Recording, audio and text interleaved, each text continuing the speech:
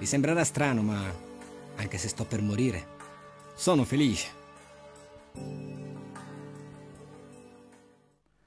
Buon salve e bentornati su No Mamma Ammazzo. Questa recensione andrà in onda in forma ridotta per venire incontro alle vostre capacità mentali. No, sto scherzando, devo abituarmi a fare recensioni più corte. Proviamoci. Parliamo di Odio l'estate, film con Aldo, Giovanni e Giacomo, diretti ancora una volta da Massimo Venier.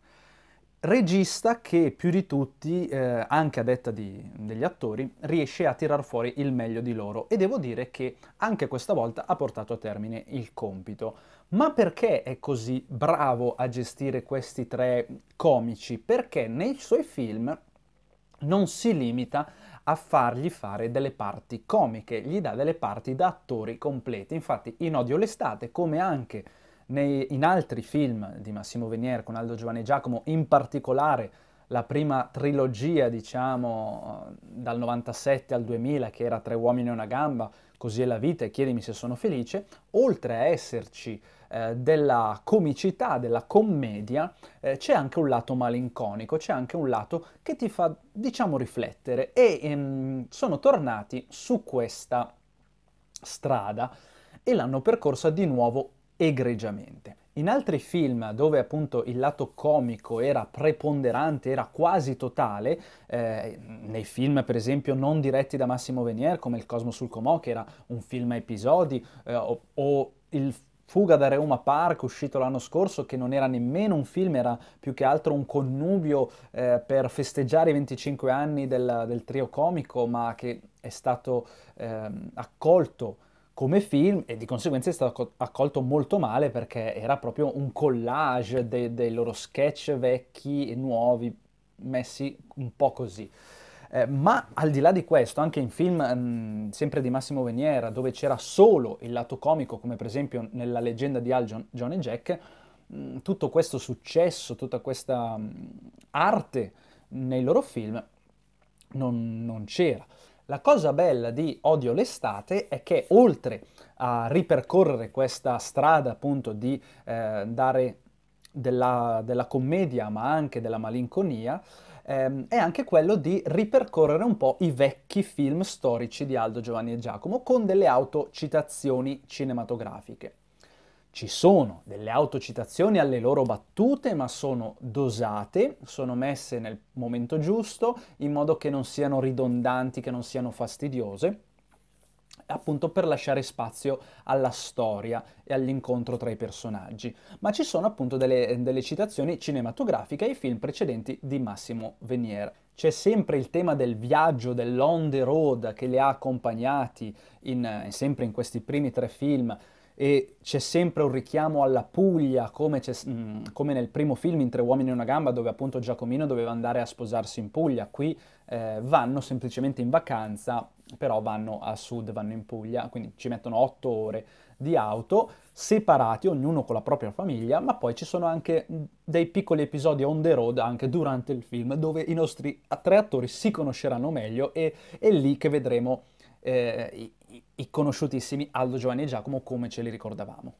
Sarà che divento vecchio io, sarà che l'argomento trattato è stato forse più profondo rispetto agli altri, ma devo dirvi che sul finale questo film, oltre a farvi divertire, vi farà anche lacrimare, vi farà anche strappare una lacrimuccia. Non voglio dilungarmi più di così nella parte non spoiler, quindi inizierò la parte spoiler tra pochi secondi. 3, 2, 1. Ragazzi, do per scontato che abbiate visto il film dall'inizio alla fine, quindi non mi rompete le scatoline se poi vi spoilerò qualcosa. Allora, eh, sappiamo tutti com'è finito il film e devo dire che mi sono abbastanza commosso. Non so però se eh, proprio da fan accanito mh, dei primi film di Aldo Giovanni e Giacomo questa cosa del fatto che Aldo ha... Eh, diciamo, questo male e quindi è destinato a, a morire a breve, l'avevo capita da molti indizi sparsi mh, durante il film e mi piacerebbe sapere se anche voi l'avete capito, se l'avete capito quando, se l'avete capito dove, se non l'avete capito per niente e siete caduti dalle nuvole e ci siete rimasti malissimo. Mi interesserebbe molto saperlo.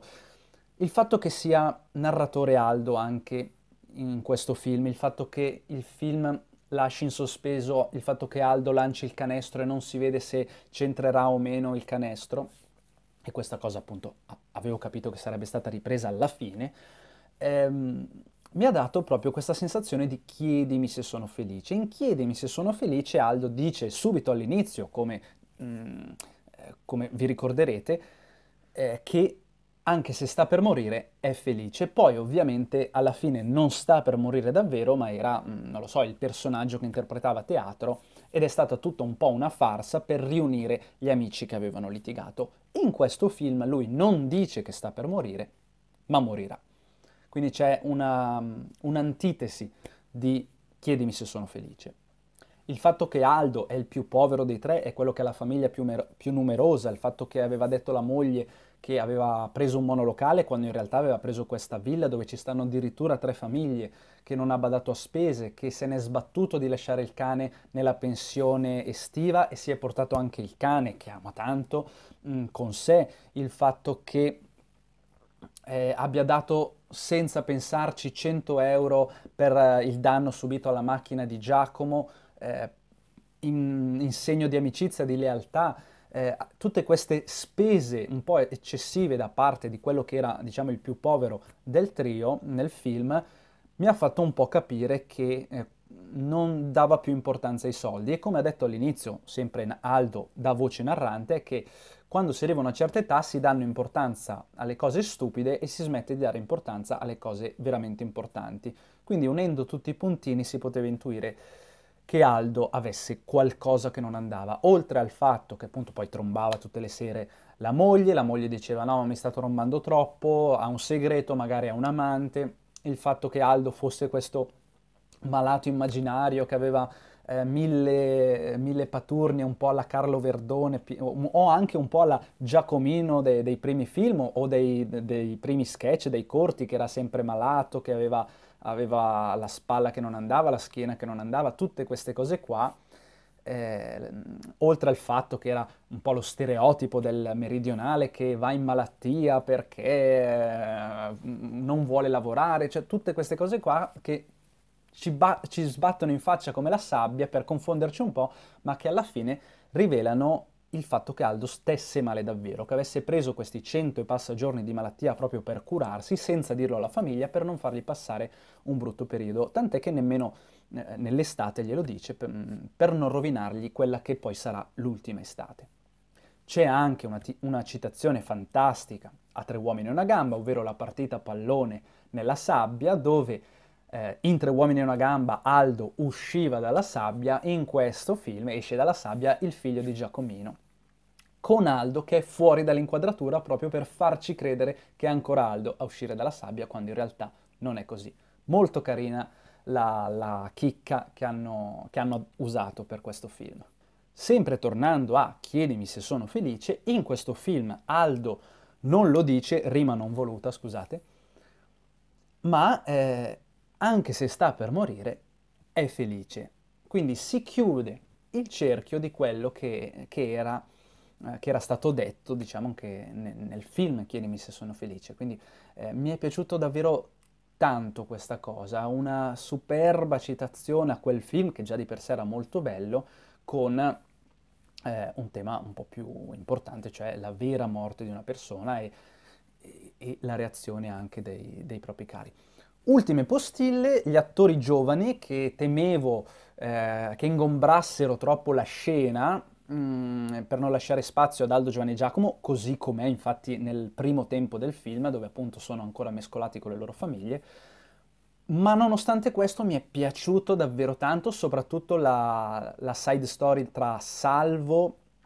e Alessia. Eh, Salvo è un comico, uno stand-up com- comedian giovanissimo, vi metto in descrizione il link così vi, vi vedete qualche suo sketch comico, è molto molto bravo. Eh, quando ci prova con Alessia eh, sembra proprio il figlio di Aldo Baglio, perché nel film è il figlio di Aldo Baglio, quando mm, fa la, una proposta a Alessia di, di trombare e poi fa così, guarda, dall'alto come fa Aldo, come ha fatto Aldo anche in diversi suoi sketch, mh, mm, ha dimostrato proprio una,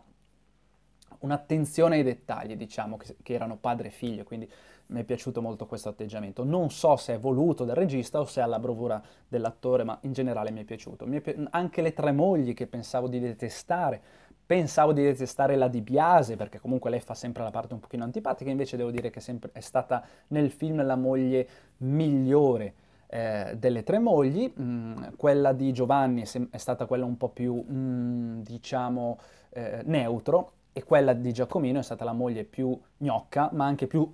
antipatica, che poi per fortuna alla fine del film si smolla un po' e, e diventa simpatica come gli altri. La, mh, la storia, sia quella del cane, della ricerca del cane, mi è piaciuta tanto, mi ha preoccupato un po', pensavo che fosse morto il cane, che questo unisse il trio, poi il cane era vivo, anche perché doveva morire Aldo, di conseguenza eh, sarebbe stata una strage, non era Game of Thrones, è un film di Aldo Giovanni e Giacomo, di conseguenza meglio così. Mm, la storia del bambino dodicenne un po' viziato, un po' che non ha un bel rapporto con questo padre adottivo che è Giacomino, eh, mi è piaciuta anche questa tantissimo perché eh, è servito innanzitutto a far fare un altro viaggio on the road a Aldo Giovanni e Giacomo, oltre a quello del cane, e mm, mi è piaciuto anche proprio per, uh, per vedere questo rapporto padre-figlio tra Giacomino e, e, questo ragazzo qua. In generale tutte le storie delle famiglie sono state trattate molto molto bene, ehm, senza togliere spazio, o meglio un po' l'hanno tolto, ma chi se ne frega, al trio comico, che però abbiamo già visto da vent'anni, e senza essere ingombranti. Quindi hanno, hanno gestito bene sia loro tre singolarmente, sia le tre famiglie. Questo mi è piaciuto molto, molto, molto, molto, molto, molto. Anche la, la, parte in cui c'è Massimo Ranieri, in cui si realizza involontariamente il sogno ad Aldo di cantare con Massimo Ranieri e di cantare in pubblico, quindi per superare questa paura che il figlio aveva descritto in qualche scena precedente, è, è stato molto bello, specie alla luce del fatto che poi si scopre che Aldo ha una malattia che lo porterà a morire. Quindi molto molto bello.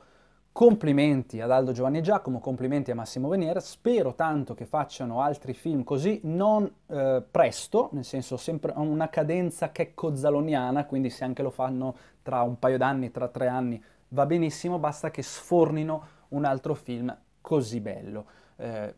abbiamo capito che la la comicità da sola ormai basta, perché le battute, il repertorio di Aldo Giovanni Giacomo è, ormai noi lo conosciamo e quindi non ci possono più sorprendere più di tanto, quindi dove ci possono sorprendere? In una bellissima storia come quella che hanno gestito. Io vi ringrazio per avermi seguito fino a qui, spero di essere stato veloce nella mia recensione, vi ricordo di iscrivervi al canale, di mettere un bel mi piace, di condividere il video con tutte le persone che amano Aldo Giovanni e Giacomo, di commentare qui sotto con quello che vi è parso nel film e noi ci vediamo nel prossimo video. Come sempre con l'inchino e con l'imbuto vi saluto e arrivederci.